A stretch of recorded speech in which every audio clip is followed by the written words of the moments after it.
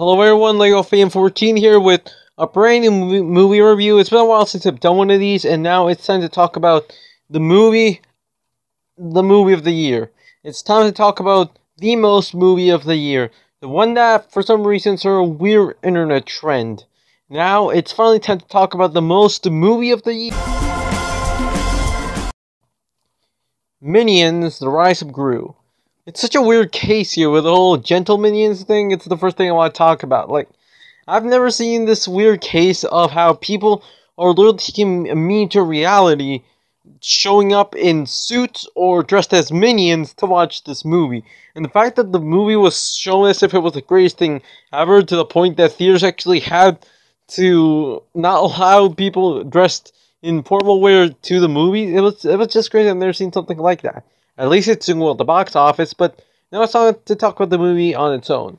Now, Minions The Rise of Gru is a really peculiar case when it comes to an animated movie, since it's a pre a sequel to a prequel, the 2015 Minions movie, being a prequel to Despicable Me.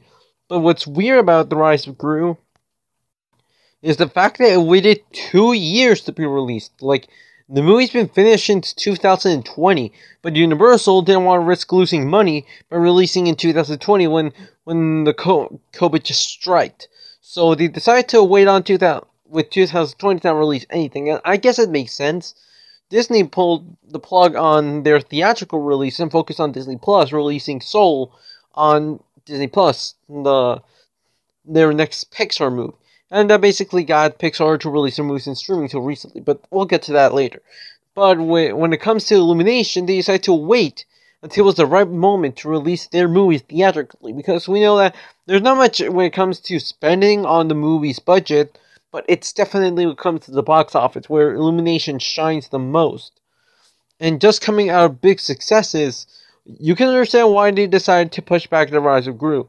Now, in 2021, where we already had animated movies released, like Raya and the Last Dragon and Space Jam 2 A New Legacy by the time Minions was going to release, Illumination said to push it back another year.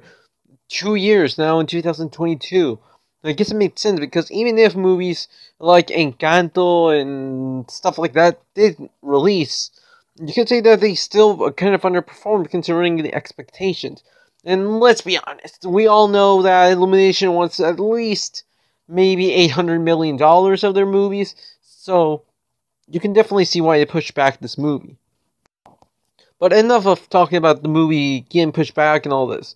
Now it's finally out. Now that a lot of people already saw it, it's probably going to be highest grossing animated feature ever since COVID came. So is it good or bad? Now, before we begin, this is a spoiler review. I forgot to mention that in the title. So if you haven't seen this movie, I recommend clicking away from this video, coming back when you saw it, and yeah, you've been warned. Now let's begin. So, Minions: The Rise of Gru. I liked it. I saw in theaters. It was either that or Lightyear, but we ended up watching Minions. It, it, was me and my family. Okay, it was a family decision, and they wanted to watch Minions, and I kind of wanted to. So, yeah, we ended up watching that movie, and it was fun. We missed the first ten minutes, so I'm not really sure what the first moments of the movie were since by the time we came, all the ads and trailers were already done, so I don't know.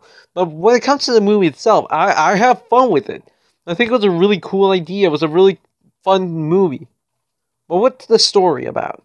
Well, the story is, well, about, as the title says, about Gru. This is Gru's origin story. It's about showing us how he became a villain after he hired the minions. How was his formation to a supervillain came. And the story is mainly about him trying to join his his supervillain dream team, the Vicious Six, who recently expelled literally their founder, a guy. What was his name? In the movie, they call him Willie Cobra, right? That's his name, right? Okay. So the, the Vicious Six, which I barely remember anything about them. I they I don't need. I only know like two of their names. I'm just gonna call Belle Bottom, the rollerblading guy, the the one that was like a crab arm, the the one our fists, and and then the, the funniest the nun chuck. The, there was a nun that a, a nun like religion. Okay, the, the, the okay. I'm gonna try to control myself. So so Gru tries to join the Vicious Six, but the Vicious Six end up rejecting him, so he ends up stealing a stone that they stole, which was gonna empower them to become the biggest villains of all time. And now the crew has something they want, the Vicious Six are now after him. At the same time, Willy Cobra is also after him, ends up kidnapping him. So now the minions are searching for for their their their new boss. But about the movie itself, not much of the story, but about the movie, if it's enjoyable or not, yeah, it was. It was a lot of fun. I laughed a lot in this movie. Like, I was worried I wasn't gonna enjoy this movie as much as I did the first Minions movie and saw that in theaters too, or Despicable Me 3, also that in theaters. But at the end, I really, I actually had a lot of moments where I just laughed. At the point I felt like my cheeks hurt because of how much I laughed when it comes to Despicable Me Minions, it can be a really mixed bag for a lot of people. They can say, "Oh, it's funny," but they're not. But they're still not great, good movies. And Rise of Gru is definitely not gonna change the way you see Minions or Despicable Me. It's still in the same formula, but I like the way that the movie pull it off. It still feels like it's its own thing, even if it still fits on the Despicable Me formula when it comes to the first Minions movie, I see a lot of people have very divisive thoughts when it comes to it. Some people think it's good, some people think it's really bad, people think it's not worth it, but and watching it a while ago, I definitely felt like it was a bit empty. I still found a lot of moments funny on it, and I left definitely liked the gags and the fact that it was it was like in what around the seventies or the eighties. I don't know, but the point is and I felt like it was okay, but it was felt a bit disjointed. It felt like it mm, it was missing something. That something was Gru, the Despicable Me side of well, Despicable Me. It felt like the movie was missing something important. And with Gru finally returning this one, a young Gru still played by Steve Carell, I felt like the movie felt a bit more complete. Like this Minion story felt complete with Gru. See, he's the a kid Gru, not like the adult Gru, but I still liked him. I still feel like it definitely felt like Young Gru turning into the supervillain we meet in Despicable Me. And well, apart from that, the story is pretty fran- it's pretty frantic and nuts. It goes here from there. It goes from Gru being kidnapped to the minions learning kung fu. And uh, my favorite parts were the ones where they learn kung fu. Like, I can't, I, I'm not gonna explain the gags. You gotta see it for yourself. But the point is, I had a lot of fun, especially with the whole learning kung fu scenes. That felt like the animation really did its best there. And seriously, when it cut to animation, it was definitely a standout on this movie. It felt very action-packed, one of those that can definitely keep your attention. I, th- I think that was the point, especially when it comes to anime kids movies, and usually kids won't really pay that much attention, and studios know that if they want that box office, they gotta make sure kids can enjoy it. And I definitely feel like that's what with the frantic and crazy, crazy speed of this movie comes into play.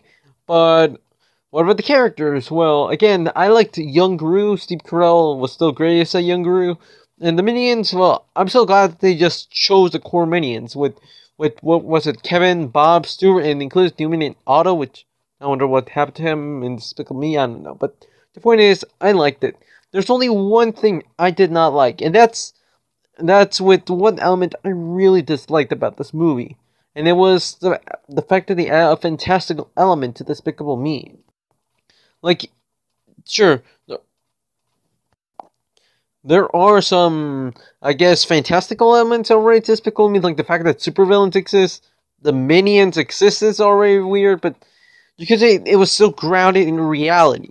We saw that they still use technology, and the fact that in the Minions movie they explained that, oh, they just came from the evolution, so these guys are like ancestral beings. The point is that they at least gave you could say a scientific logical explanation. Like like there are super intelligent people out there that are mad scientists and that's how the supervillain technology can work. That's how supervillains exist. And with the minions explaining that the fact that they evolved like they say every other creature did it makes sense. But with adding this fantastical element of the zodiac stone I did not like that. I feel like it makes Despicable Me feel a bit more generic in its world where it still had the laws it had to follow. That's why I like when when you build a world and you follow the laws you make like for example Toy Story where when it comes to Toy Story still it's a granted world but with rules like how the toys are alive and even if they can bend here and there what can be considered a toy that's alive the point is that they had their logics for their world and it worked. But with Despicable Me, I feel like they're bending and even breaking the rules doing this stuff, adding magic. And I do not like I do not really I don't like magic in movies or in general. So I was disappointed in that area. I heard about the massive animal fight, but I didn't think it was magic. Okay, I didn't feel like they were gonna do that being magic. They never really. I maybe the start of the movie, those minutes I lost, they referenced it. I don't know. But the point is, that's the only bit I did not like about the Rise of Gru. But apart from that, this movie was really fun. I'll give it a solid 7 out of 10. It's not a bad movie by any means, but it's not going to change the way you see Despicable Me or Minions. Um, I, I still like them, still waiting for Despicable Me 4, which as far as I know is still in production and coming in 2024, so we'll have to wait and see if, if this will affect somehow Despicable Me 4, but we'll just have to wait and see. Overall, I, I'm, I'm okay with the Rise of Gru. I definitely see why it's being so successful, uh, but something is, I'm surprised the fact that it's being Disney and Pixar's Lightyear, which will be the next video I make, since literally two days after watching Minions: The Rise of Gru, I got a chance to watch Lightyear. Now, now that it it's on Disney Plus, so that's definitely my next project. So thank you all so much for watching. If you enjoyed the video, please give a like, comment what you thought about Minions: The Rise of Gru, and subscribe if you don't want to miss any of my videos. Again, I'm gonna I'm gonna start working on my video about Lightyear and some other movies here and there that will be coming out. So thank you all so much for watching. Goodbye.